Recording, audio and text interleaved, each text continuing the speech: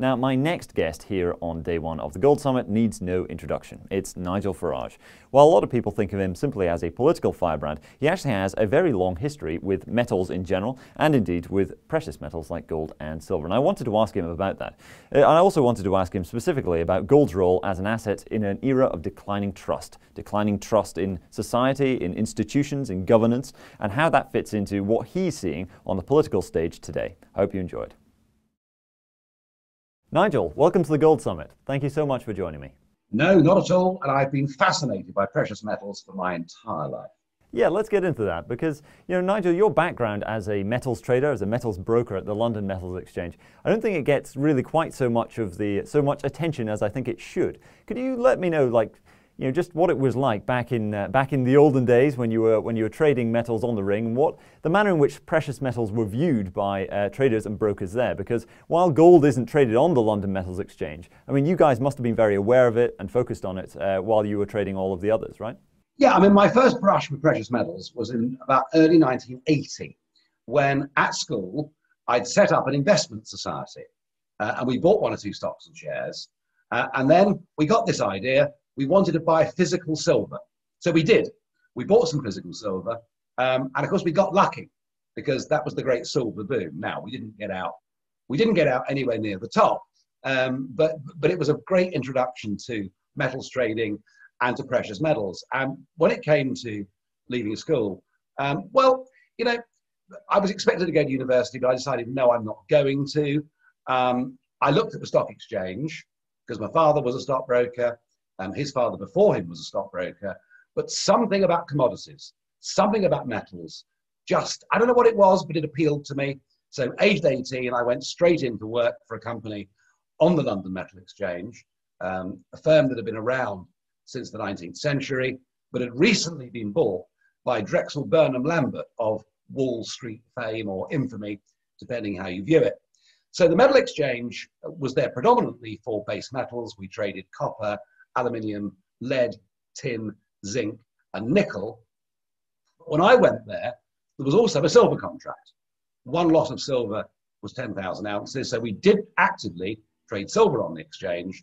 And back then, there was even something called the LGFM, the London Gold Futures Market, which wasn't a success because gold, you know, was, was, was traded and the daily price was set at the daily gold fix by a handful of the big gold houses. So silver was part of what we did every day, uh, but gold was something, of course, that we were acutely aware of. Now, we'd had this big precious metals boom in 1881, especially in silver, the Nelson bunker hunt squeeze, which, of course, in the end, as with all squeezes, ended and ended very abruptly. Um, and through those early years in the 1980s, the arguments against gold were very, very strong. The arguments, of course, were that interest rates spent much of that period in double digits. And of course, if you own gold, you don't earn interest on the money. And if you own physical gold, you have to pay a bit of money to store it. And gold became very, very unfashionable. You know, um, eh, inflation, inflation after about 82, inflation, which had been very high for the previous decade. One of the reasons that gold did have big moves up was that it was seen as a store, a value of wealth. But as we went into a period of relatively high interest rates, but not that higher inflation, gold was seen to be unfashionable. Now, you know, I, I, I understood those arguments, um, but of course they led to the Chancellor of the Exchequer, one Gordon Brown, deciding that gold was a barbarous relic and selling 400 metric tons of it um, at the end of the 1990s. Uh, it turned out to be one of the worst financial decisions any British Chancellor has ever made. Um, historically, look at the gold chart, it's known as the brown bottom. Uh, he sold 400 tons of it um, at about an average of $270 uh, an ounce. Um, truth of it is, truth of it is uh, that gold is one of those great hedges, one of those great stores of wealth uh, against things going wrong in the financial system. And even though it's had its ups and its downs, as all commodities do, truth of it is that if you go back through the centuries, gold has actually represented a very good investment. So, so yeah, you know, I spent 20 years um, broking and dealing in metals. And although I spent more of my time on base metals and non-ferrous metals, uh, precious metals, always been Boaz a big part of my life. You know, could you take us back to that that period uh, when you were uh, trading in the ring? Because you know these days it does look like uh, the ring, the London Metals uh, sort of red sofa circle, where uh, all of that trading takes place. Uh, it does look like it's on its way out. Ever since the pandemic, it's been sort of uh, vacated, and uh, now the exchanges, uh, London Metals Exchange, is talking about uh, completely phasing it out in favour of uh, electronic dealing and trading only. Uh, could you take us back to what it what it was like then, and the manner in which like uh, precious metals were viewed? You said earlier there was the the LGFM, the London uh, Gold Futures mm. Market, uh, which didn't quite work out. Could you expand a bit on uh, on how that didn't work out? Was it just because the uh, the bullion fix wasn't quite it, well, the the the futures market for gold was you know more in places like the U.S. and they they stole mo- much of that business, or was it because more due to the, the influence of the bullion banks here in London? you know, the whole point of open outcry trading uh, and, and the way that it first came about um, was number one, as a means to buy and sell metal. Um, and classically, uh, we would trade three months forward because that was the amount of time it took to get copper out of the ground, smelted, and tr- travel across the Atlantic into European warehouses. So, it, you know, there, there was a spot dimension to what we did, but much of it was forward trading, futures trading, perhaps as we would now call it. Um, the exchange was there, open outcry was there as a means to buy and sell, um, as a means for companies to hedge. You know, if you're a miner and you're producing copper, your job is to be good at getting copper out of the ground, not to speculate on the price of copper. So you would sell your forward production at a price locking in. And similarly, you know, if you're manufacturing washing machines in, in somewhere in the Ruhr, um, you know, you want to make sure that an adverse price movement in copper, uh, you know, doesn't doesn't badly affect your business. So you hedge your forward consumption on the exchange. But the other point about open outcry is that it was a means of establishing a daily settlement price, an open, transparent, unarguable means of setting a settlement price. And on the basis of the LME settlement price daily, all the physical transactions around the world would be conducted at that price. Um, and the way that it works, to the uninitiated, is at 12.30, a bell would go. And that would be the open outcry daily fixing price for copper, right? And that bell, that trading session, would last for five minutes, right? And it's rather like a horse race. It starts off fairly slowly um, with minor transactions taking place. And then in the last minute, in the last 30 seconds, all hell breaks loose. And there are people in the ring screaming and shouting. And it's very, very difficult, you know, to talk to somebody who's even five feet away. And that, of course, is where tic tac, you know, it comes in. So, you know, up is bid. So that's one bid two offered, one bid, two offered, two trades, two trades, two trades bid, two trades bid, two to three, two to three. So, so a lot of stuff is done by sign language. Um, and sometimes, as that last bell approaches, I mean, it, there are days down there, it was absolute bedlam. And to the uninitiated, they think, well, how on earth does any order ever come out of this? How on earth do people agree? And the toughest job, the hardest job in the whole of the business was to be a clerk. And the clerk would lean behind the trader and have to write down with a pencil and paper everything the dealer had done.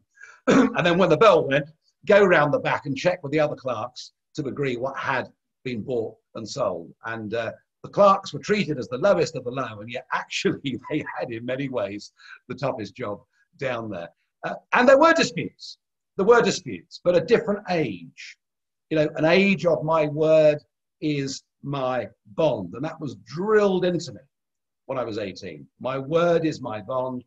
We never had lawyers. We never recorded telephone conversations.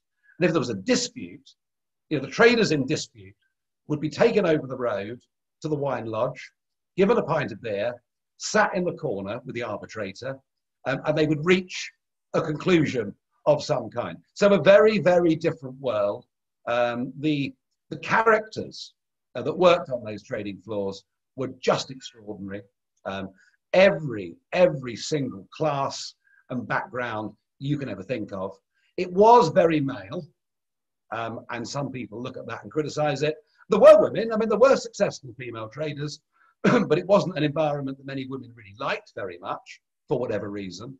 Um, but it was truly, and this is the real point, it was truly international. You know, this wasn't just a sort of city boys luncheon club, although the social elements to life in city then were pretty enormous.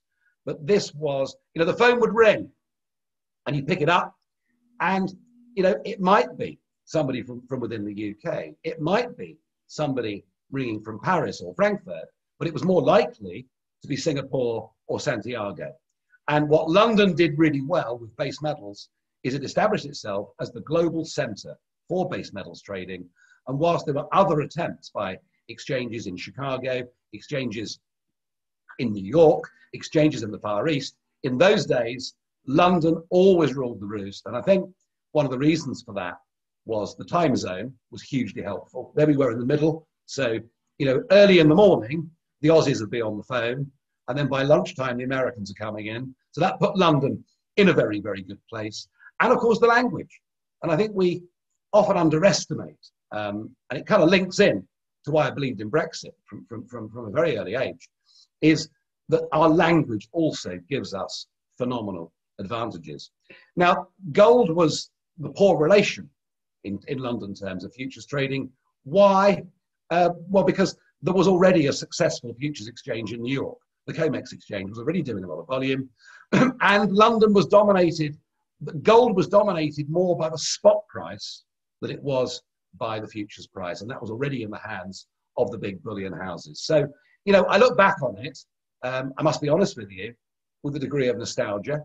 Um, it was an enormously fun place to work, a wonderful kaleidoscope of colourful characters, um, a, a genuine feeling that we were at the epicenter of something that was global. And I always found that actually terribly exciting. Um, and of course, you know, a social life, which, well, I'm not sure the British Medical Association would approve um, of the drink culture and all the rest of it. Um, and it might not have been very good for people's health, but gosh, we had a lot of laughs doing it. It does seem like a great shame that uh, the LME physical, you know, trading floor uh, does look to be on its way out. But you know, relating to what you just said there, with uh, you know an era in which my word was my bond, and it was uh, plenty of gentlemen's agreements, uh, which sort of kept everything together. You know, I've been thinking recently about this, the idea, which, you know, it's not my idea, it's been, been around for a very long time, that gold is, a, is an asset that prospers in an environment of declining trust. You know, decline in, institu- in, decline in trust in institutions, decline in trust in governments, or even just in, uh, you know, society, a stable society itself. Uh, you know, you've been at the forefront of a lot of the, you know, the, the unrest, well, not the unrest, but the, the, uh, the sense of unease that has dominated British politics uh, for a long time. You know, the everyman feels like he's not, uh, you know, he's not, he, you know, things aren't quite right. You know, he's not getting his fair share for what, for, you know, the labor that he puts in. Um, what do you, where do you think that's coming from? Because it feels like gold and what, what is uh, sometimes pejorative, pejoratively referred to as populism sort of go hand in hand. Like, where do you think that all that? Where do you think that comes from? Where do you think that ultimately the problem originally lies?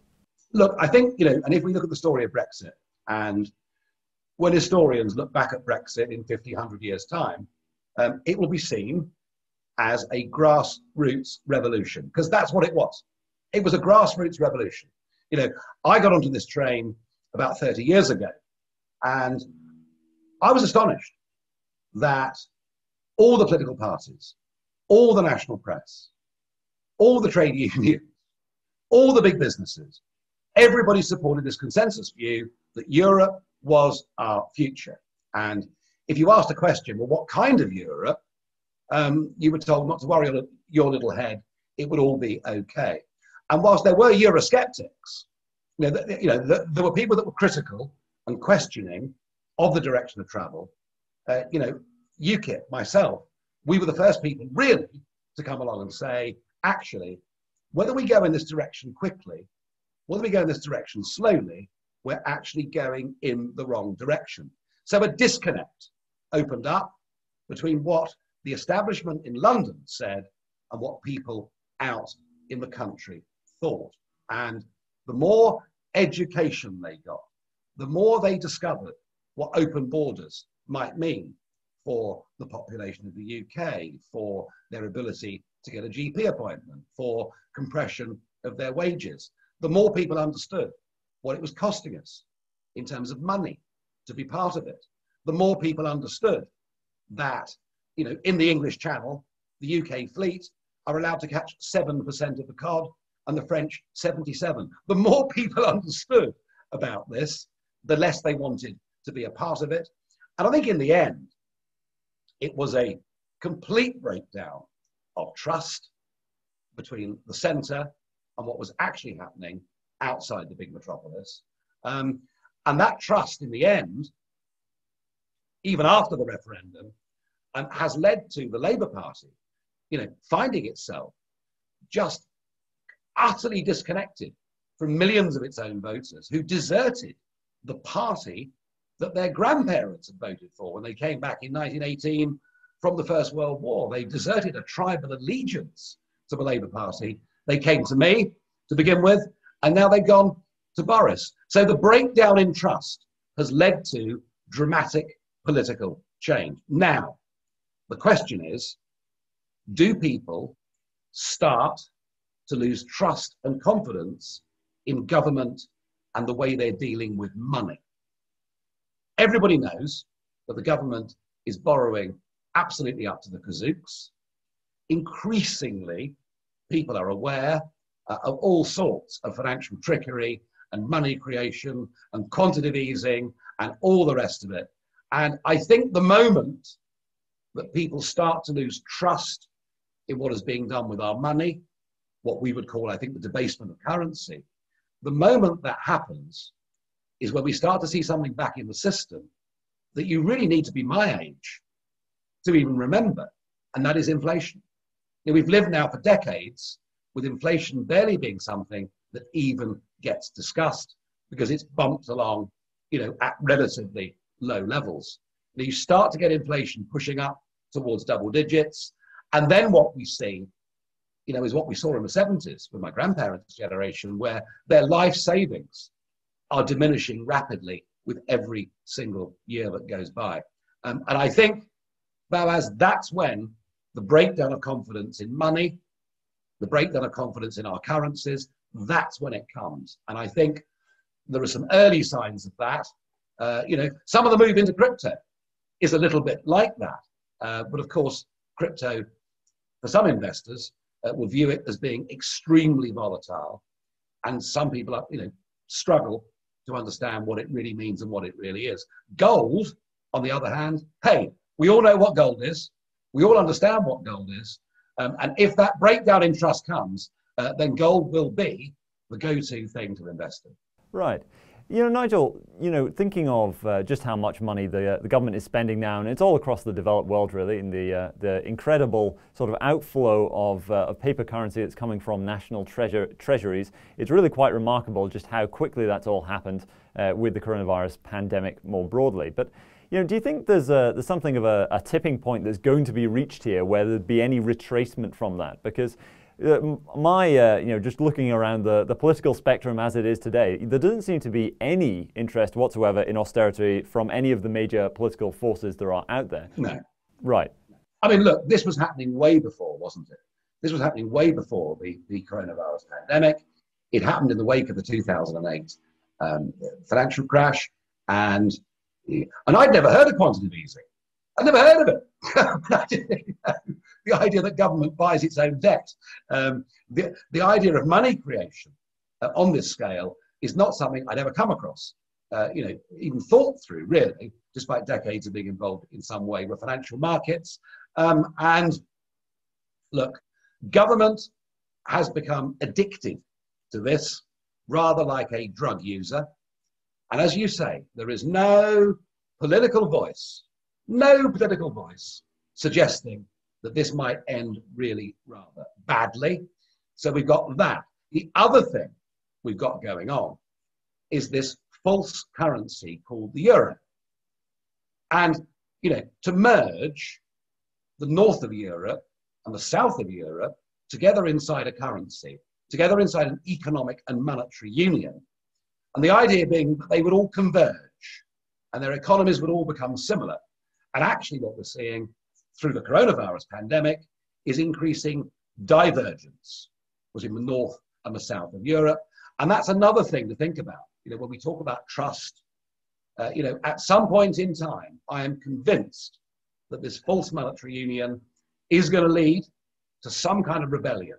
It'll come probably from one of the Mediterranean countries. And again, when that happens, when that happens, we're going to see all kinds of pressures on the banking system.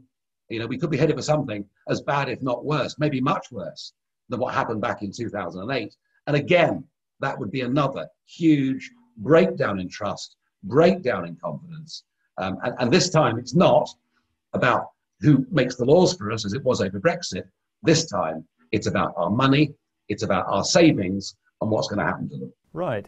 You know, going back to uh, you know the because quantitative easing, of course, comes from the central banking side, uh, and we're seeing a lot of uh, a lot of rhetoric now and a lot of general policy shifts towards fiscal spending rather than monetary monetary stimulus. Yeah. Um, like, do you think that's going to reach a tipping point at any point? Uh, well, a tipping point at any point. You know, uh, do you think that's going to reach uh, something of a, you know some kind of crescendo where suddenly it, it seems like we're spending too much money because despite the huge amount of money that the Treasury has managed to spend this year, it doesn't look like we're, uh, we're anywhere close to reaching a level at which uh, there's a, a, great pullback from that. No, I mean, look, you know, on the fiscal side of it, um, we are going to need quite dramatic and sustained growth within the UK economy um, to start to eat back into these huge sums of money. But I, I'm not sure I mean, I feel, I do feel that Brexit Britain is relatively in a much better position than France, Germany, and Italy. And that I will say. Um, at some point, at some point, you know, if the UK government was to struggle to get its sales of gilts, its sales of government debt away, you know, maybe then that's the moment that, that politically people start asking the question. But for the moment, for the moment, we're nowhere near that. And it seems to me there are lots of people out there um, who seem to be very happy with being paid to be at home, very, happy, you know, uh, particularly those in the public sector, that their jobs aren't under threat. Uh, I do think there is a reckoning to come. How it comes, how soon it comes, I just don't know. Well, changing tack slightly, Nigel, because you'll know this very well from uh, your, your metals days. You know, what China does when it comes to commodity consumption is, you know, can be the only thing that matters for certain commodities. And gold is something that China takes a very strong strategic interest in. Like, what do you make of that? What do you think China's grand plan is when it comes to its holdings of bullion? Because, you know, it's the biggest miner of gold in the world, or at least it claims to be, and you can't really sort of check their homework because they don't export any of that gold. Uh, but you know, it encourages its citizens to own gold. Like, what do you think they're they're really trying to do uh, by incentivizing all of this gold accumulation within their borders? Yeah, I mean, look, you know, this is a separate conversation to the Chinese Communist Party, to the AI kind of world they want us to live in, um, to the Uyghurs. Um, I'm not going to discuss the political aspects of it, but the economic aspects of it are well, look, the great commodity boom that we saw, the super boom we saw in commodities, you know, from 2004 onwards, um, the driver was China. There's no question. You know, tens of millions of people leaving an, an, an agricultural lifestyle to move to the big cities and actually wanting a Western lifestyle. They wanted to have fridges. They wanted to have freezers. They wanted to have all these things uh, that meant a massive spike in demand for commodities. Um, obviously, we know that financially, uh, China on its current course before very long is going to be the biggest economy in the world and maybe the biggest by quite some margin. And there's a population there of 1.4 billion people. Uh, they're doing their best, of course, with their own internet. They're doing their best uh, with their own version of a sort of digital currency. Um, they're trying to make themselves almost self sufficient um, in terms of how they run and manage their own country.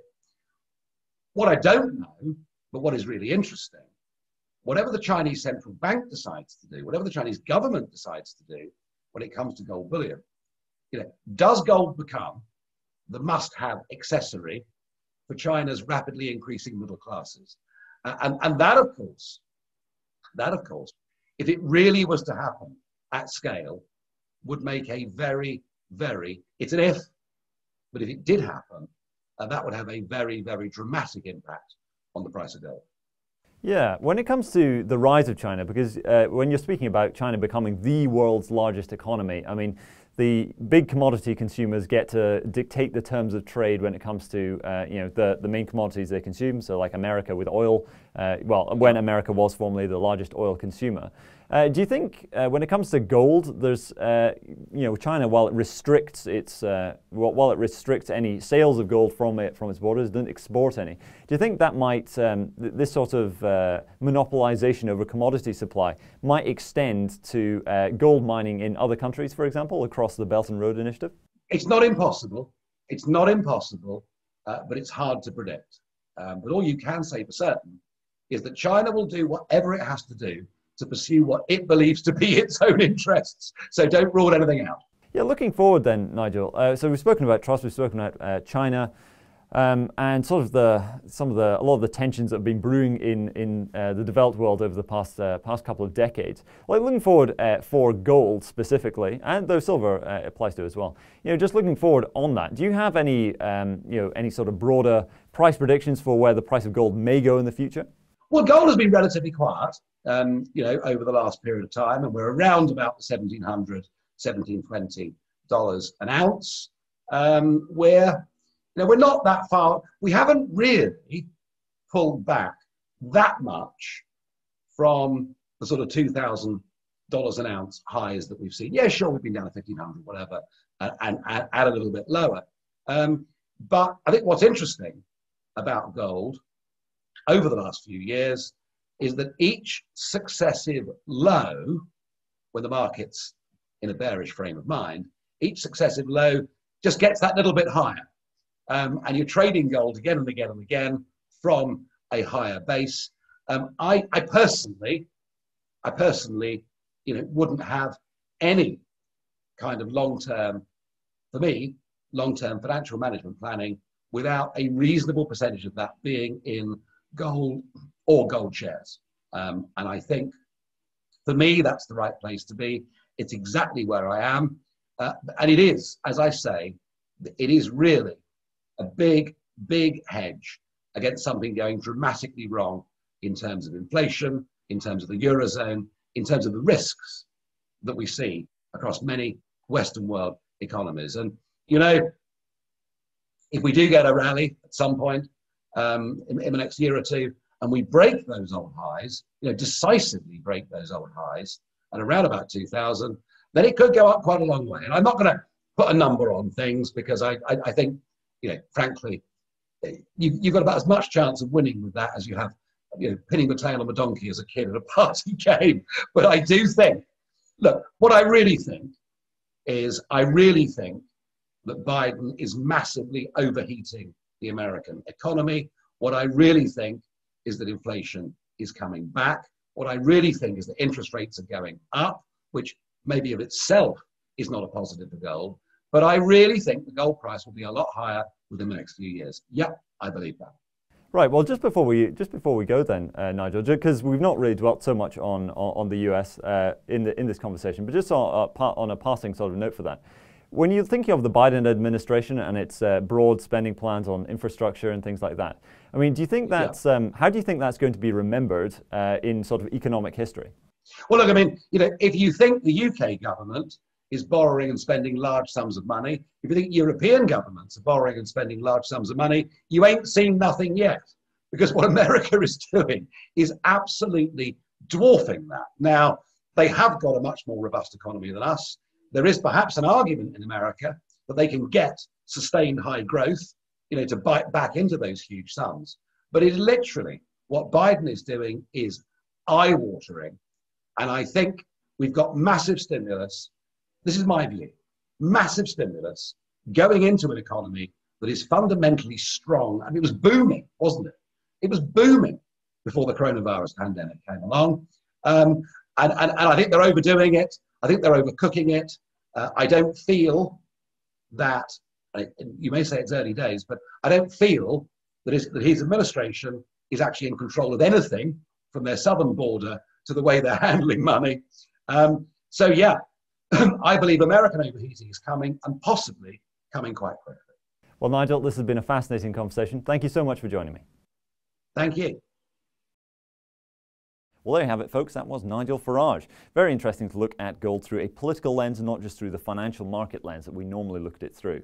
But that is all for today. We shall be back again tomorrow. Hope you tune in there. We've got a lot more guests coming up, and I'm very excited to speak to them.